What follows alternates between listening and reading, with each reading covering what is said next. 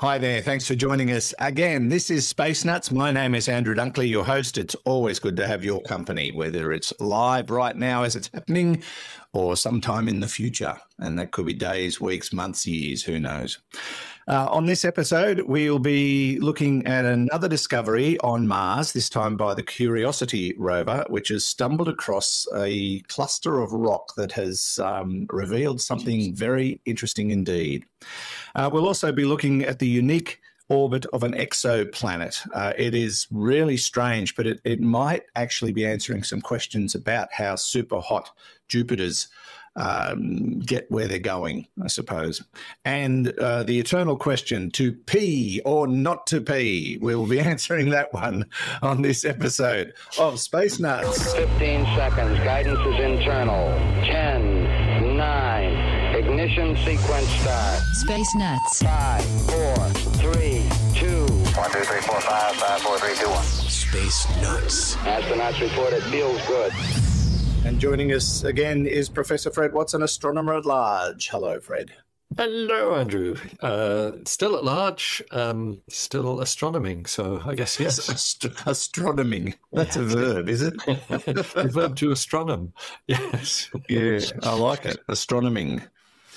Yeah. yeah, we'll save that one up for a special occasion. Maybe so. Um, yes. How's everything in your world? We've actually got sunshine for the first time in weeks today. It's Oh, really? um, yeah, li- out here uh, in the west of New South Wales, central west. Uh, we have been under cloud for it was nearly getting on towards a month solid of cloudy days, Yeah.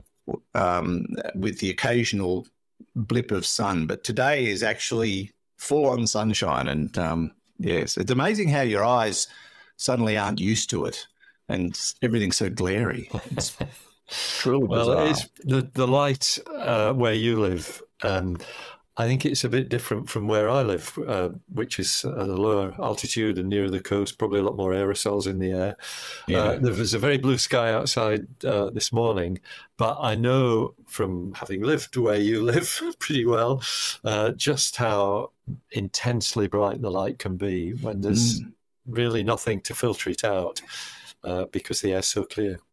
Yeah, it's it's actually quite beautiful. Our, Yeah. our skies are the most blue that I've seen anywhere. To be Yeah. honest, um, yeah, it's it's glorious, and everyone's now jealous. Uh, I'll take a photo of it one day. And I did publish a blue, a blue, just a, a, a I took a photo of the sky one day, and it was just a blue rectangle. Yeah. it just looked amazing. Not a, not a cloud, not a glitch, not a bird, nothing. Um, okay, let's uh, get stuck into it, Fred. And our first story concerns Mars. Strange that we'd be talking about Mars because you know we've hardly ever mentioned it. But uh, let's um, look at this story because they have made a discovery courtesy of the Curiosity rover, which literally, quite literally, drove over a rock, cracked it open, and they went, "Hello, hello, hello. What's all this?" Then They they found something unique. They did. That's right. They found uh, sulfur crystals, yellow sulfur, um, Mm. which is the stuff that uh, you tend to find around the, um, you know, the craters of volcanoes. Um, there's places. I, I've on- been on the craters and volcanoes. I've seen the it. Yes, That's- it's that's there. right, as I have too. Uh, so it's it's um, yeah. Look, it, it's uh, really really interesting. What's um, I, guess um, perhaps the most intriguing aspect of this story is that nobody expected it. And not only did they not expect it, they thought, no, this is never going to happen. Uh, but it has. Um, so it turns out that there's only, there's really only a limited set of conditions that can allow sulfur to form in this manner, this pure um, sulfur element, uh, crystals of it. Uh, and the region where the Curiosity rover is, where it stood on this rock, uh, and apparently they've discovered other ones similar to it nearby. Uh, but that re- region was never thought to have the conditions in which sulfur can form. And so it was su- such a big surprise. Um, Mm. uh, and even more surprising, as I, sa- as I said, when they discovered more of these. Uh, so, uh, where is the spacecraft? Well, it's uh, in a place called Gale Crater, uh, which as we've mentioned many times before, is named after an Australian amateur astronomer uh, who was active in the um, early 20th century. Uh, Gale Crater has a has a central peak uh, which is called Mount Sharp, uh, and it's uh, that peak that uh, is really what what the the whole mission was was set out to do when it landed in 2012. Curiosity, it's been there a while. Yes, uh, and fabulous, isn't it? That that's right. And the the reason that that place was chosen, uh, yeah, it's extraordinary that it's still going strong. Um, mm. The reason that place was chosen was because uh, Mount Sharp has a sort of gash in the side of it, um, a a valley uh, which is called the Gediz Gediz Vallis. Uh, I'm not sure whether I'm pronouncing the Gediz correctly, but that's my best guess. G E D I Z, Gediz Vallis, uh, the Gediz Valley, I guess it translates from the Latin, uh, and it's it's a it's a, a, cleft in the side of Mount Sharp that goes right down to the base of the mountain, and so what that does, uh, that sort of opens up the strata, uh, and it means that you've you know that by following that that valley uh, up the up the mountain, you're going progressively to younger and younger rocks uh, in the in the stratification of the of the rock layers that have been laid down. Uh, and we're talking now about billions of years ago, of course. Uh, but there's also uh, the added, um, I guess, angle on this uh, that ancient floods and landslides might well have have contributed to that. Uh, and that's why, you know, it's such an interesting place. It's the reason why Curiosity was sent there in the first place. Mm-hmm. Uh, but it looks as though, yes, that floods and landslides have played a role uh, in forming this landscape with the sediments and rock piles and there seems to be a ridge that's been left by violent flows of water. Um, but that is perhaps uh, then suggestive of the kind of environment that might allow the sulfur to be formed because uh, sulfur uh, element, you know, just pure sulfur, the element itself not mixed with any other ides uh, or anything to make it sulfides. Uh, sulfur itself uh, is is, as I said, only formed in a, in a, narrow range of conditions. And what this suggests is that apparently um, the thinking about the origins of this valley in particular and the, some of the features in, in Gale Crater, uh, that they are now, uh, they, what they've done is they've now uh, kind of tightened down the conditions under which that happened because they know that sulfur formed there. Uh, so um, I think they're still still studying the details of this, the mission scientists. So we might hear more about what this means in terms of the history of Mars and the history of this particular part of Mars a bit down the track.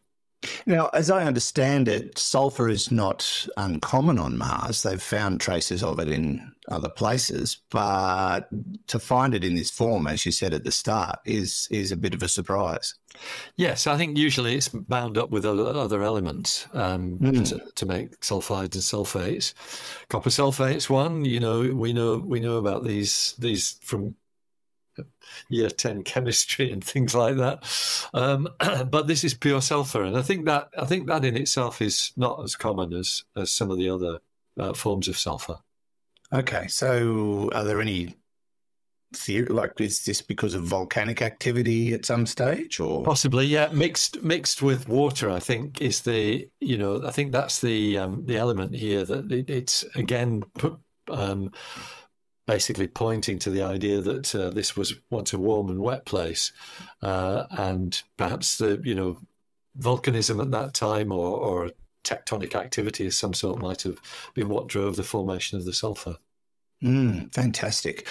It, it, just keeps bringing up surprises, though, doesn't it, Mars? The more we look at it, the more we are surprised by what we can discover, and uh, it just keeps throwing these curveballs at us.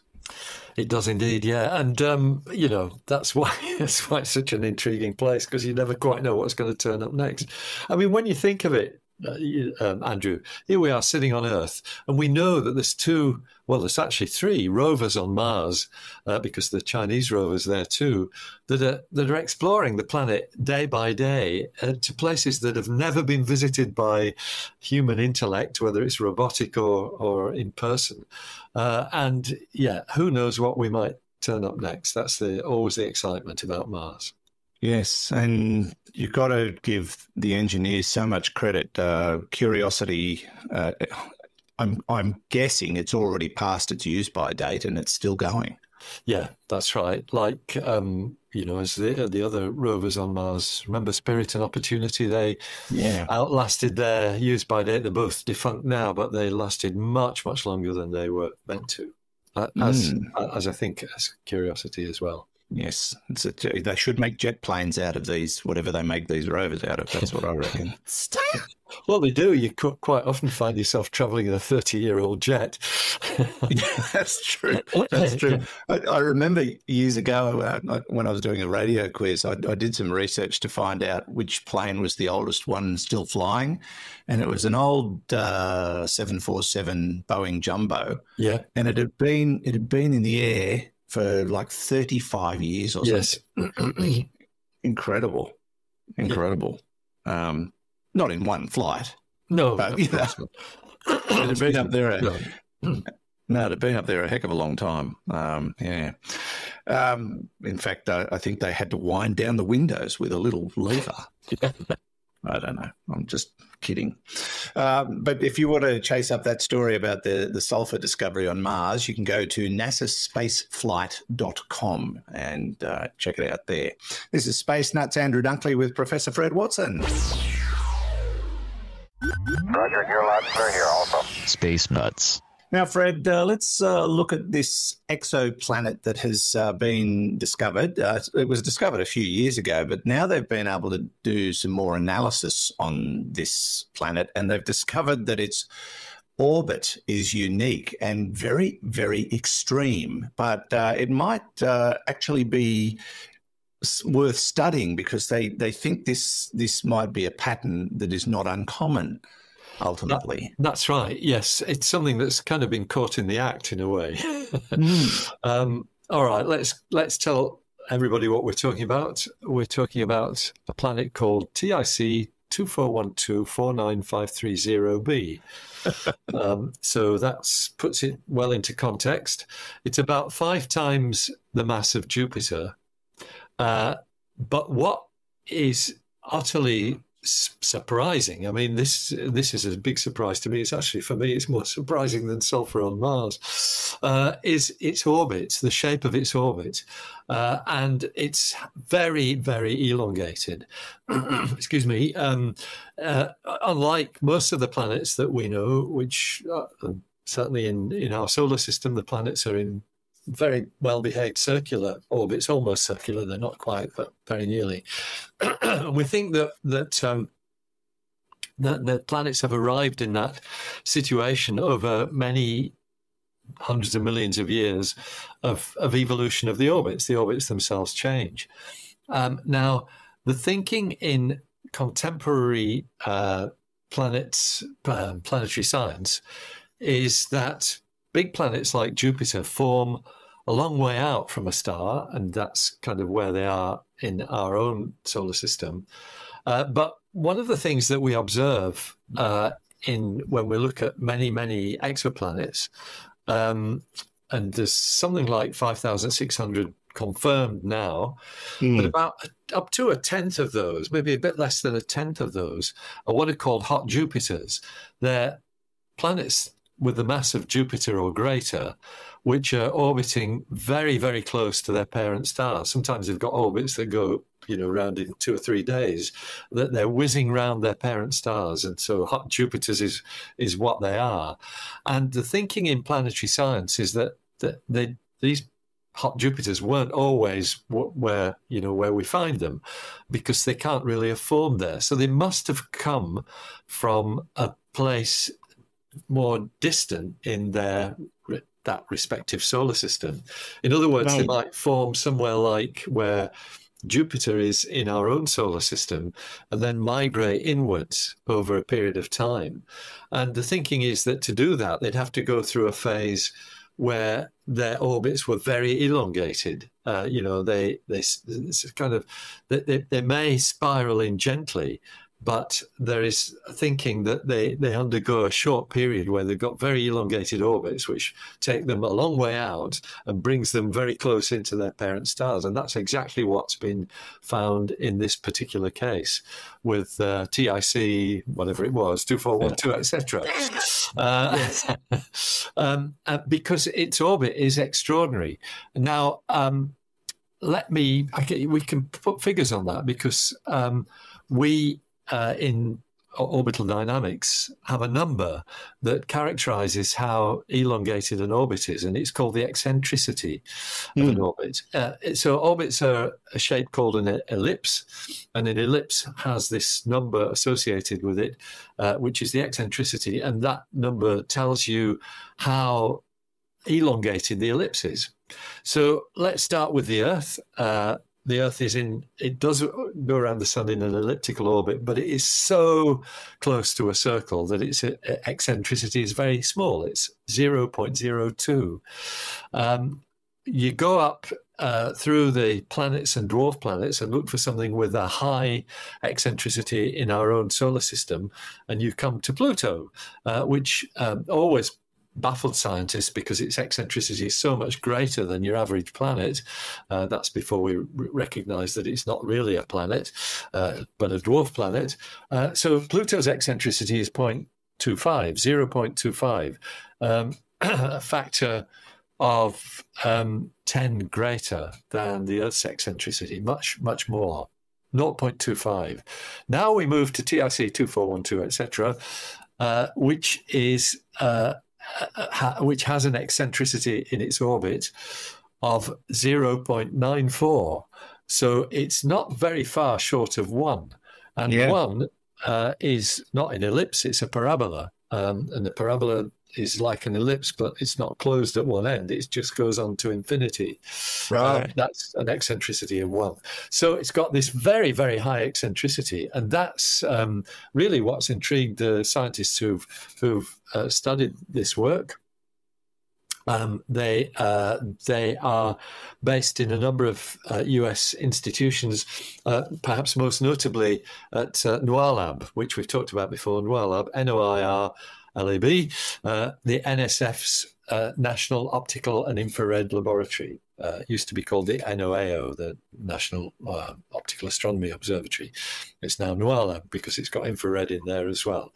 Uh, and scientists from that laboratory, they've used actually one of the telescopes that they have access to at the Kitt Peak National Observatory.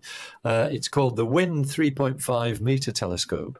Uh, and WIYN is not that it's a winning uh, instrument, uh, although it's nice to think of it that way because it is a winner, uh, but it's an acronym. It's actually W I Y N, and uh, it's operated by something called the WIYN Consortium. Uh, and the, the name comes from the initials of the institutions that actually founded that consortium a number of years ago, which are University of Wisconsin Madison. Indiana University, Yale University, and again the what was the National Optical Astronomy Observatory. So those initials put together spell WIYN, uh, which is a great name. Uh, and they have a 3.5 meter telescope, a little bit smaller than our 3.9 meter Anglo-Australian telescope here uh, in uh, in uh, northwestern New South Wales. Or there in northwestern New South Wales, not far from where you are. Um, mm. Yeah, the WIYN telescope's relatively uh, recent. It's 20 years younger than the AAT. It was built in 1994, but it's got um, instruments on board that let you deduce the eccentricity of the orbit of an exoplanet, and that's how this discovery has been made. It's really quite extraordinary, and um, as we've said, uh, that might be that we've now find an example of this perhaps quite short lived phase in an exoplanet's life or in a hot Jupiter's life when it migrates from the outer parts of its solar system down to the inner parts, in fact, the very innermost bit where you're almost skimming the surface of your parent star. Yeah, it, what I found fascinating, if you want to put it in um, terms that compare to our solar system. If this planet was in our solar system, it would be uh, in an orbit that would bring it um, 10 times closer to the sun than Mercury, Mercury, yeah. and then out as far as Earth. Yeah, That's that's a wild orbit. Yeah, yeah, that's right, exactly. So that that does put it in context, uh, very nicely into context. That's what you get when you've got an eccentricity of 0.94. You get this wide range of distance, and you can imagine uh, what that does to conditions on this planet. You know, it's got it, it's really hot for part of its orbit, and it's in the Goldilocks zone for the rest of it, or for the the most distant part of it. So, yeah, very very interesting to envisage what the conditions might be on the planet itself. And in terms of the long term prognosis of a planet like this, they think ultimately that they would stabilize in a in a reasonable orbit over time. This this is just sort of the beginning of a phase of movement It- that brings yes. them into a stable orbit at some stage. That, that's right, exactly. Um, a, a, a circu- sort of circular orbit. So it's a process that's sometimes called circular circularizing, uh, and the, but the it's a reasonable orbit in the sense that it's stable, but it is still um, very unusual in in our parlance because it's so close to its parent star. It's going to be, as you said, uh, one tenth of the distance between the Sun and Mercury, um, and so it's going to be very hot for its uh, the remainder of its life once this um, this instability in its current situation uh, settles down. I Yeah. suppose the other question, Fred, is well, it's not a question. We don't know how close this one will end up to its parent star when it reaches stable orbit. I think that's right. Yes. But it's also um, brought into question why these hot Jupiters end up very close to their parent star in a lot of cases. That's something we're discovering, and um, space scientists still aren't sure why that happens. It's certainly not something that's happened in our solar system. Our gas giants are at the extremities, but in a lot of other systems, they're right on the you know Yeah. they're right up there next to the star themselves. That's right. And so um, it, it's part of the thinking of uh, planetary scientists who look at our own solar system that, yes, the uh, the giant planets have themselves migrated in their orbits, uh, and maybe they weren't formed where we see them now. Um, but clearly, they haven't migrated in the way that your average hot Jupiter has. Uh, and there's something like you know 400 of these things known, so they're Yeah. not uncommon. Um, and you, you're right. The, the the bottom line is it's going to be uh, tidal forces probably that that generate this uh, this um, strange behavior, the migration migration uh, process uh, of big planets, uh, the forces that um, that actually govern uh, the, the the way planets orbit, uh, and you you add to that the the tidal effect of being very close to a to a large star, which you you would be uh, for part of this uh, part of this eccentric orbit. So yeah, lots of thinking going into all that. Mm, fascinating. Uh, that's available if you'd like to read it on spacedaily.com. This is Space Nuts. Three, two, one. Space Nuts. Now, Fred, uh, our final story is one that, uh, look, I don't know how to tackle this except to say to pee or not to pee. Well, when you're in space, you can't hold it for as long as you probably want to, uh, especially if you're on a spacewalk. And that's what this story is all about. When you go on a spacewalk, you can't really just duck inside to go to the loo. Uh, so you've No. got to do it. You've got to do it in your suit, and the technology of today is so far advanced that you're basically doing it into a diaper uh, or a um, you know a, an absorbent pad of some kind in your suit. That's that's as far as technology's got so far. Um, but now they've come up with something new, and this I find really quite interesting.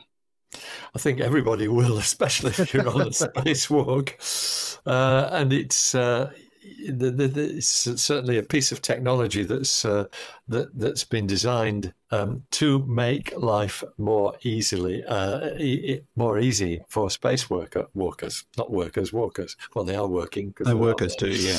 Um, and it's um, it's at a it, it's been done in uh, sort of medical facilities in the United States have, have brought this idea together. Um, what, as you, exactly as you've said, what you've got at the moment is something a disposable garment, effectively a diaper or a nappy, as we would call it in um, Anglo-Australian terminology. Uh, yeah. It's got a got a posh name though. It's it's called a MAG, and a MAG is a an acronym for Maximum Absorbency Garment. There you are. Right. Yeah. well, certainly better than calling it a depend or something like that. Yeah. Well, that's right. Yeah. But um, but the, um, MAGs go back quite a long time. In fact, they were apparently first dis- designed in the early 1980s and have been used ever since. And what they do is they they absorb the urine, uh, which is what we're talking about here, uh, and they they kind of keep it there. But you know, if you've got a spacewalk and they can take up to eight hours, they're not mm. short ventures, as you said. You can't just pop in for a pee, um, so they can be very uncomfortable. And there's there's always the risk of things like skin skin irritation, even infection, uh, yes. uh, which you wouldn't want to get mixed up with. Um, and so, uh, what has been the thinking is can you design something that collects the urine, turns it into something useful, like drinking water? Yeah. now we're talking. oh, you're talking. That's right. Um, so this it actually comes from a paper uh, in Frontiers of Space Technology. It was uh, published uh, within the last few few days, uh, and what it is is a device that you, you, you wear a thing on your back. Uh, so that's fine. That's a good start. And it's got pipes that go to various bits of your body. and once it detects, uh, and it's got a thing that detects moisture, once it detects uh, moisture in your in the region of your genitals, uh, it says, okay, uh, we need to leap into action, uh, puts on a vacuum pump that sucks the urine away uh, and puts it sends it through to the backpack, uh, where it go undergoes a very um, what might be described as fulsome filtration process. Yeah, I think uh, we're going to have to put an MA15 plus warning on this episode. The way this is going, yeah, yeah. I'm a bit well, worried now. No, it's just a filter, but uh, but it takes out the. That's, that's what know, they all say. um, uh, let me. I'm just. Uh, where, where, are we reading? We're in, in sp- sp- no, space.com here. I was just going to yes. quote. Uh, so, so uh, you know, so basically what uh, what space.com have said about this. Mm. the device has been shown to effectively remove the major components of urine and reduce its salt levels to meet health standards, so to make it drinkable. So, uh, and the, the basic, you know, the, the real breakthrough here, Andrew, is that this is a process that doesn't take hours. It, it takes minutes. Uh, yeah. It's very, very rapid. And so uh, it's got the lovely spin off that you can feed the water back to the astronaut who can then drink it as they're working. They don't have to, you know, carry a supply of water with them. They just supply it themselves. Uh, and um, uh, it looks like a win-win situation for for spacewalkers. Yeah, you know what it reminds me of? It reminds me of that science fiction um, book uh, and now movie Dune because they wore what were called still suits and they reprocessed all the body's moisture into drinking water. Yes. So here's uh, science fiction into reality. Uh, absolutely. That's right. And um, I've got a feeling this space.com article mentions that, if I remember rightly. That, oh, right. Uh. Because uh, I've heard that term before. Uh, it's funny, you know, I've been meaning to read Dune since 1969 uh, and I never got to it. So uh, one of my one of my good friends when I was going through my um, postgraduate studies at uh, St Andrews, he was an absolute Dune fanatic, and this is back in the day. So I've got to catch up with that somehow. mm. Well, these two most recent movies have been they've, they've tried to stick as close to the books as possible. Really? So yeah, yeah and, and, they've been brilliant. They've been brilliant. Yeah. I've loved them. Uh, yeah, um, very, very, very cleverly done. Uh, special effects these days make it so much easier. Uh, when you compare to the original Dune movie, um, you know, 30 odd years ago, it, um, yes. um, you look at the special effects today and you, you sit there and you, you, you chuckle a bit. Um, but these days, it's uh, it's extraordinary. Uh, so to pee or not to pee, uh, it appears that it's going to be a lot easier going forward. They're still got to test this stuff out, um, and uh, hopefully you're not in trouble, or you no, you're in trouble. No, no, I'll leave that one alone. Uh, but but the, the most important question is this: this only deals with the urine problem. Um, they haven't got an answer for space floaters yet, so well, or space duties or whatever you want to call them. That's, Yes, that's one, still of your, one, one of your favourite topics. that's still that's still a work in progress. Mm. Yeah, I think it would be. Uh, that's right. So, yes, it's part of the problem. Looks as though it's got a solution. I think one of the things that they really have to sort out is whether this thing will work in zero gravity. Uh, That's the thing, haven't yeah. that yet. Yeah. Yeah, but uh, you know, with vacuum technology, I I don't see why not. But um, time will tell. Time will tell. Uh, you know what worries me most, though, Fred, is that uh, when they finally get one of these things up into space, and some poor bloke, I'm assuming it'll be a bloke, uh, gets out there on a spacewalk to test this thing, he's going to have to pee for an entire audience. I mean, think about it. That, that's that's performance anxiety to the max. Yeah. Well, I can tell you my plumbing would certainly seize up very rapidly if that Yeah. was the case. Houston, Houston, we have a problem. yeah. That's right. we Um, do indeed. yeah, I, I can imagine the commands. Okay, release when ready. Yeah. yeah.